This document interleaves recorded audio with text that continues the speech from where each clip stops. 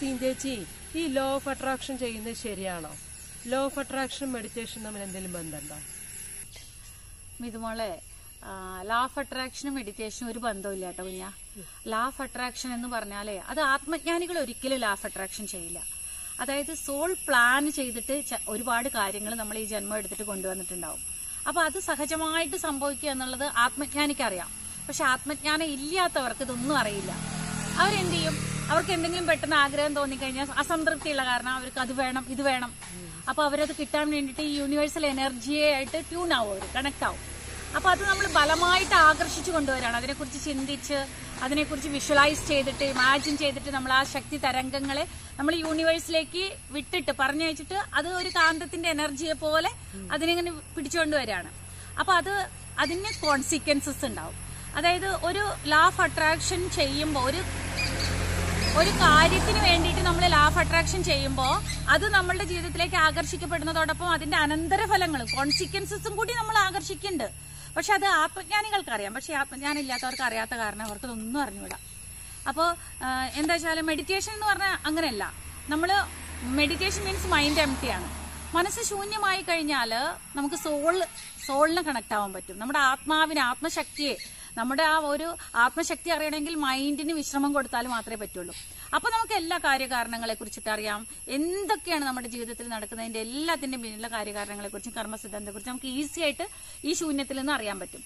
പക്ഷെ ഒരു ആത്മജ്ഞാന അശേഷം അറിയാത്തൊരു വ്യക്തിക്ക് മെഡിറ്റേഷന്റെ പേര് പറഞ്ഞ് ഒരിക്കലും ലാഫ് അട്രാക്ഷൻ എന്ന് പറഞ്ഞിട്ട് പറ്റിക്കരുത് ആൾക്കാരെ. പാവാണെന്ന് വെച്ചാൽ മെഡിറ്റേഷൻ വേറെ ലാഫ് അട്രാക്ഷൻ വേറെയാണ്. അപ്പൊ ഇതൊന്നും അറിയാത്തൊരു വ്യക്തിക്ക് സങ്കടങ്ങൾ ഉണ്ടാവും ഈ ദുരിതങ്ങൾ എന്തിനാ വന്നതെന്ന് അറിയില്ല. അവർക്ക് ആഗ്രഹങ്ങൾ ഉണ്ടാവും അവർക്ക് അസംതൃപ്തി ഉണ്ടാവും. അപ്പൊ നിനക്ക് നിന്റെ ആഗ്രഹങ്ങൾ സാധിക്കാൻ വേണ്ടിയിട്ട് നീ ലാഫ് അട്രാക്ഷൻ ചെയ്യുന്ന അവർ പറയുവാണ്. അപ്പൊ പാവം ആൾക്കാരത് വിശ്വസിച്ചിട്ട് അത് ചെയ്യാണ്. പക്ഷെ അതിന്റെ ഒപ്പം അത് ഒരുപാട് ദുരിതങ്ങളും വരുമെന്നുള്ളത് നീ പറഞ്ഞു കൊടുക്കില്ല. അതായത് ഈ പറഞ്ഞ് പഠിപ്പിക്കുന്നവർക്ക് പറഞ്ഞു കൊടുക്കാനുള്ള അനുഭവം ഉണ്ടാവില്ല. അതുകൊണ്ട് തന്നെ ഈ ലാഫ് അട്രാക്ഷൻ പഠിപ്പിക്കരുത്. ഓക്കെ. അപ്പൊ ഇനി പഠിപ്പിക്കുന്നവരോട് നമ്മൾക്കൊന്നും പറയാനില്ല. പക്ഷെ എന്നാലും പറയാണ്. ഇപ്പൊ ഉദാഹരണം. ഇപ്പൊ എന്താണിത്? ഉദാഹരണം എന്ന് ചോദിച്ചാൽ ഒരു കുഞ്ഞുങ്ങളില്ലാത്ത പാരന്റ്സ് കുട്ടികളില്ല. കുട്ടികളില്ലാത്തതിന്റെ ദുഃഖങ്ങൾ അവർ ഒരുപാട് അനുഭവ അനുഭവിക്കുകയാണെന്ന് വിചാരിച്ചോന്നെ. അപ്പോ ഈ ഒരു കർമ്മം അവർ അനുഭവിക്കണമെങ്കിൽ പൂർവജന്മം ഈ ഒരു വേദന മറ്റേതോ പേരൻസിന് ഒരു കൊടുത്തിട്ടുണ്ട്. കുട്ടികളില്ലാത്ത ദുഃഖം എന്നുള്ള ഒരു അനുഭവം അനുഭവിക്കാൻ വേണ്ടിയിട്ടാണ് ഈ പാരന്റ്സ് ഈ ഭൂമിയിൽ വന്നിട്ടുള്ളത്. പക്ഷേ ഈ മായാഭൂമിയിൽ അതൊക്കെ മറന്നുപോയിട്ട് എനിക്ക് കുട്ടികളില്ലല്ലോ എന്നും പറഞ്ഞിട്ട് ലക്ഷക്കണക്കിന് രൂപ ട്രീറ്റ്മെന്റിനായിട്ടും പൂജകൾക്കായിട്ടും ഹോമങ്ങൾക്കായിട്ടും മന്ത്രവാദങ്ങൾക്കായിട്ടും ഒക്കെ ഇവർ ചെലവഴിക്കും. എന്നിട്ട് ഇവരെന്ത് ചെയ്യും? ഇവരുടെ സോൾ പ്ലാനിലില്ല സോൾ പ്ലാൻ ചെയ്തിട്ടില്ല. കുട്ടികളില്ലാത്ത ദുഃഖം എന്നുള്ള അനുഭവമാണ് ഇവർ അനുഭവിക്കാൻ വന്നത്. അതിന്റെ കാരണമുണ്ട്. ആ കുട്ടികളില്ലാത്ത വേദന കുട്ടികൾക്ക് സംബന്ധമായിട്ടുള്ള വേദനകൾ ഇവർ കൊടുത്തിട്ടുണ്ട്. അത് അനുഭവിക്കാനാണ് വന്നിട്ടുള്ളതെന്ന് മറന്നുപോയിട്ട് ഇവർ ഈ പിടിച്ചു വാങ്ങിക്കുകയാണ്. അതായത് സോൾ പ്ലാൻ ചെയ്യാത്തതിന് യൂണിവേഴ്സിൽ നിന്നും പൂജകൾ ചെയ്തിട്ടും ട്രീറ്റ്മെന്റ്സ് ചെയ്തിട്ടും നമ്മൾ പിടിച്ചു വലിക്കുമ്പോൾ ആ ഒറ്റ കുട്ടി മതി അവരുടെ ജീവിതം തകർത്ത് തരിപ്പണാവാൻ അപ്പൊ ഈ ലക്ഷക്കണക്കിന് രൂപ എന്ന് പറയുന്നത് ഈ കുട്ടികളില്ലാത്ത പേരൻസ് കുട്ടികൾ ഉണ്ടാവാൻ വേണ്ടിയിട്ടല്ല ചെയ്യേണ്ടത്.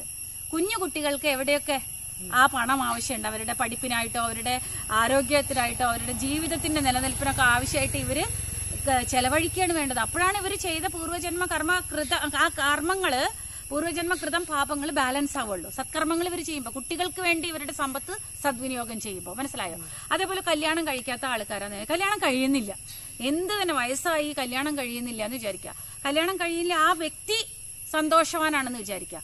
അപ്പൊ ആ വ്യക്തി കല്യാണം കഴിഞ്ഞാൽ അവൻ ഹാപ്പിയാണ്. പക്ഷെ പലർക്കും വീട്ടുകാരും നാട്ടുകാരും പറയണ വെച്ചിട്ട് കല്യാണം കഴിപ്പിക്കരുത്. എന്നുവെച്ചാൽ ആ വ്യക്തി സിംഗിൾ ലൈഫ് ലീഡ് ചെയ്യാൻ വേണ്ടി വന്ന. പൂർവജന്മത്തിൽ അതിന്റെ പാർട്ണറെ കൊണ്ട് ഒരുപാട് ബുദ്ധിമുട്ടുകൾ ആ വ്യക്തി അനുഭവിച്ച് ദുരിതം അനുഭവിച്ചിട്ട് ഈ ജന്മെങ്കിലും സമാധാനമായിട്ട് ജീവിക്കണം എന്നുള്ള ഒരു പ്ലാനിലായിരിക്കും വന്നിട്ടുണ്ടാവുക. അത് കാരണം ബലമായിട്ട് ഒരിക്കലും നിർബന്ധപൂർവം ആ കുട്ടിയെ കല്യാണം കഴിപ്പിക്കരുത്. ഇനിയിപ്പോ ചില വ്യക്തികൾ ഉണ്ടാവും കല്യാണം കഴിഞ്ഞില്ലെങ്കിൽ ഭയങ്കര പെയിൻ ആയിരിക്കും അവർക്ക്. ഭയങ്കര സങ്കടം. എനിക്ക് കല്യാണം വേണം കല്യാണം വേണം പറഞ്ഞിട്ട് അതിന് വീട്ടുകാരെ ബുദ്ധിമുട്ടിക്കും. എന്താ പറയുക ഒരുപാട് മന്ത്രവാദങ്ങൾ ചെയ്യും പൂജകൾ ചെയ്യും അല്ലെങ്കിൽ നോമങ്ങൾ വ്രതകൾ ചെയ്യും അല്ലെങ്കിൽ ഒരുപാട് പണം അതിനുവേണ്ടി ചെലവഴിക്കും. ഓക്കെ. എന്ത് എന്തുകൊണ്ട് എന്നിട്ടും ഇവരുടെ കല്യാണം നടക്കില്ല. എന്തുകൊണ്ടാ? ഇവർ ഈ വിവാഹ ജീവിതത്തിന് സംബന്ധിച്ചൊരു പെയിൻ കൊടുത്തിട്ടുണ്ട്. ഏതെങ്കിലും ഒരു ദാമ്പത്യ ജീവിതം തകർത്ത് തരിപ്പണാക്കിയിട്ടുണ്ടാവും. അല്ലെങ്കിൽ അവരെ വേർപിരിച്ചിട്ടുണ്ടാവും. അല്ലെങ്കിൽ കാണാത്തത് കണ്ടു എന്നോ കേൾക്കാത്തത് കേട്ടു എന്നോ പറഞ്ഞ് അവരുടെ ജീവിതം വാദിച്ചിട്ട് ഏതെങ്കിലും ഒരു വക്കീലൊക്കെ ആയിട്ട് വാദിച്ചിട്ട് അവരെ നുണ പറഞ്ഞിട്ട് അല്ലെങ്കിൽ മറ്റുള്ളവർ കാശ് തന്നൊന്നും പറഞ്ഞിട്ട് അതിനു വേണ്ടിയിട്ട് ഈ വ്യക്തികളെ വേർപിരിച്ചിട്ടുണ്ടാവും. അതായത് ഒന്നിച്ചു പോവേണ്ട അവർ എന്ത് തന്നെയാണെങ്കിലും ആ കോക്കർമാസ് ഒന്നിച്ച് അനുഭവിക്കാൻ അവർ വന്നിട്ടുള്ളത്. അതിനെ ബലമായിട്ട് വേർപെടുത്താൻ കാരണമായവർ പെയിൻ അനുഭവിക്കും. ഈ പെയിൻ എന്തുകൊണ്ട് അനുഭവിക്കണമെന്ന് അവർക്ക് മനസ്സിലാവില്ല. ആത്മജ്ഞാനികൾക്ക് മാത്രമേ മനസ്സിലാവുള്ളൂ. ഇത്രയും പരിശ്രമിച്ചിട്ടും കല്യാണം കഴിഞ്ഞിട്ടില്ലെങ്കിൽ ഇതിന്റെ ഏതോ കർമ്മം കല്യാണ സംബന്ധമായിട്ടുള്ള വിവാഹ സംബന്ധമായിട്ടുള്ള ദാമ്പത്യ സംബന്ധമായിട്ടുള്ള ഒരു കൊടും ക്രൂരത ചെയ്തിട്ട് അതാണ് ഇത്രയും ഇവർ പെയിൻ അനുഭവിക്കണമെന്ന് കണ്ടിട്ട് നമ്മൾ എന്ത് ചെയ്യും? സൈലന്റ് ആയിട്ട് നിൽക്കണം അവരെ ഫലമായിട്ട് കല്യാണം കഴിപ്പിച്ച് അയക്കാൻ നമ്മൾ പരിശ്രമിക്കരുത്. അങ്ങനെ ചെയ്തു കഴിഞ്ഞാൽ അത് ദുരന്തമായിരിക്കും. അതൊക്കെ സഹജത്വത്തിന് വിരുദ്ധമാണ്. യൂണിവേഴ്സൽ പ്ലാൻ എന്ന് പറയുന്നത് സഹജമായി നമ്മുടെ ജീവിതത്തിൽ സംഭവിക്കേണ്ടതാണെങ്കിൽ സഹജമായിട്ട് സംഭവിക്കും കുഞ്ഞാ.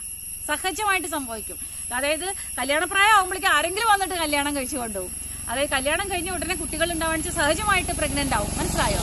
പഠിച്ചിട്ട് ഇറങ്ങുമ്പോഴേക്കും നമുക്ക് ജോലി കിട്ടാനൊക്കെ ആണെച്ചാൽ നമ്മളെ വിളിച്ച് ജോലി തരും. നമ്മൾ പഠിച്ചിങ്ങോട്ട് ഇറങ്ങുമ്പോഴേക്കും അത്രയൊന്നും വലിയ പഠിപ്പൊന്നും ഉണ്ടായിട്ടുണ്ടാവില്ല പക്ഷെ നമ്മൾ പൂർവജന്മത്തിൽ മറ്റുള്ളവർക്കൊക്കെ ഒരുപാട് സഹായം ചെയ്തിട്ടുണ്ട്. ഒരുപാട് സത്കർമ്മങ്ങൾ ചെയ്യിച്ചാൽ നമ്മളെ വിളിച്ച് ജോലി തരും. പഠിച്ചതിന്റെ അല്ല അതിനേക്കാൾ ഉന്നതമായിട്ടുള്ള ജോലി. ഒരുപാട് പഠിപ്പ് പഠിച്ചിട്ടും ഒരു ജോലിയും കിട്ടാത്തവരുണ്ട്. എന്തുകൊണ്ടാ? ഈ ജന്മത്തിൽ ഇത്രയും ഇവർ പഠിച്ചിട്ടുണ്ടെങ്കിൽ അവരുടെ പൂർവജന്മ സംസ്കാരം അതേ ആയിരിക്കും. മനസ്സിലായോ? ആ കൾച്ചർ ആയിരിക്കും. ആ ഒരു സംസ്കാരമായിരിക്കും അപ്പൊ അവർ ആ ഈ പഠിപ്പും കൊണ്ട് അധികാരത്തിൽ ആ കാലഘട്ടത്തിൽ അധികാരം കൊണ്ട് ഇവരെന്തോ ദുഷ്ടപ്പണികൾ ചെയ്തിട്ടുണ്ട്. അതായത് ഇവർക്ക് മറ്റുള്ളവരെ സഹായിക്കാനുള്ള അവസരങ്ങൾ കിട്ടിയിട്ടും അതൊന്നും ചെയ്യാതെ കൈക്കൂലി മേടിച്ചിട്ട് ഒരു കഴിവില്ലാത്തവർക്ക് ജോലി കൊടുക്കുക അവനവന്റെ ആൾക്കാർക്ക് ജോലി കൊടുക്കുക ഇതൊക്കെ ചെയ്തിട്ട് കഴിവും നൈപുണ്യമുള്ള ആൾക്കാരെ തഴഞ്ഞിട്ടുണ്ടാവും. അതുകൊണ്ടാണ് ഇത്രയും പഠിച്ചിട്ട് ഒരുപാട് പഠിപ്പുണ്ടാവും. ഒരുപാട് സ്കോളർഷിപ്പ് ഒക്കെ കിട്ടിയിട്ടുണ്ടാവും. പക്ഷെ നല്ലൊരു ജോലി കിട്ടില്ല അവർക്ക് ജോലി ഇല്ലാതെ വീട്ടിലിരിക്കുന്നുണ്ടാവും ഒന്നും പഠിക്കാത്ത കുട്ടികൾ പോയിട്ട് ജോലി എടുക്കുന്നുണ്ടാവും. പക്ഷെ ഇവർക്ക് വലിയ വലിയ ജോലി കിട്ടേണ്ട പഠിപ്പ് പഠിച്ചിട്ട് ഒന്നും കിട്ടാതെ എന്തുകൊണ്ടാണ് ഇവർ ഈ വിദ്യയ്ക്ക് സംബന്ധിച്ചിട്ടുള്ള കൊടും ക്രൂരത അർഹതപ്പെട്ടവർക്ക് ചെയ്തിട്ടുണ്ടാവും കൊടും ക്രൂരത. ആ അതുകൊണ്ട് തന്നെ ഇവർ ഈ അനുഭവിക്കുകയാണ്. അതുകൊണ്ട് ജോലി കിട്ടാൻ വേണ്ടി ലാഫ് അട്രാക്ഷൻ ചെയ്യുക എന്നൊക്കെ ചെയ്ത് ജോലി കിട്ടും. പക്ഷെ സമാധാനം ഉണ്ടാവില്ല ശാന്തി ഉണ്ടാവില്ല. നമുക്ക് അനുകൂലമായിരിക്കില്ല. സബോർഡിനേറ്റ്സും കൊളീഗ്സും സുപ്പീരിയർ ഓഫീസേഴ്സും ആ പരിസ്ഥിതികളൊക്കെ നമ്മളെ ബുദ്ധിമുട്ടിച്ചുകൊണ്ടിരിക്കുക. എന്താ വെച്ചാൽ നമ്മൾ സോൾ പ്ലാൻ ചെയ്യാത്തതിനെയാണ് പിടിച്ചു വാങ്ങിയിട്ടുള്ളത്. ഓക്കെ മെഡിറ്റേഷൻ ചെയ്യുന്ന ഒരു വ്യക്തി ഒരിക്കലും ലാഫ് അട്രാക്ഷൻ ചെയ്യില്ല. മെഡിറ്റേഷൻ ചെയ്യുന്ന വ്യക്തിക്ക് അറിയാം. എനിക്ക് എന്തുകൊണ്ടാണ് ജോലി കിട്ടാത്ത എനിക്ക് എന്തുകൊണ്ടാണ് കല്യാണം കഴിയാത്ത എനിക്ക് എന്തുകൊണ്ടാണ് കുഞ്ഞുങ്ങളില്ലാത്ത എന്തുകൊണ്ട് എനിക്ക് ദുഃഖം വന്ന്? എന്തുകൊണ്ട് എനിക്ക് രോഗങ്ങൾ വന്ന്? ഈ പരിസ്ഥിതികൾ എന്തുകൊണ്ട് എനിക്ക് അനുകൂലമാകാത്തത്? എല്ലാം ഒരു ആത്മജ്ഞാനിക്ക് അറിയാൻ പറ്റും. ഒരു ധ്യാനം ചെയ്യുന്ന ഒരു വ്യക്തിക്ക് മൈൻഡ് ശൂന്യമായി കഴിഞ്ഞാൽ എല്ലാം നമ്മളുടെ ആത്മാവിൽ നിന്നും വിശേഷമായിട്ട് നമുക്ക് ദർശിക്കാൻ പറ്റും. മനസ്സിലായോ? അപ്പൊ മനസ്സിലായോ? കുഞ്ഞാ മെഡിറ്റേഷൻ ലോ അട്രാക്ഷനും ഒന്നല്ല ഒരു ബന്ധവുമില്ല. അതൊരു ധ്രുവാണെങ്കിൽ ഇതൊരു ധ്രുവം. അതായത് ഇപ്പോൾ ഒട്ടും ആത്മജ്ഞാനമേ അറിയാത്തവർക്ക് അത് ഓക്കെ. അവർക്ക് എന്ത് പറഞ്ഞാലും അവർ മനസ്സിലാക്കില്ല. ഇതാണ് കേട്ടോ കാര്യകാരണം. ഇത് നീ അനുഭവിക്കാൻ നീ പൂർവജന്മത്തിൽ ഇതിന് തക്കതായിട്ടുള്ള കാരണം നീ ചെയ്തു വെച്ചിട്ടുണ്ട്. അതൊക്കെ പറഞ്ഞവർക്ക് മനസ്സിലാവില്ല. എനിക്ക് എന്ത് തന്നെ ആരെ കൊന്നാലും വേണ്ടിയിലേക്ക് ജോലി കിട്ടണം. ആരെന്തായാലും വേണ്ടി എന്റെ കല്യാണം കഴിയണം.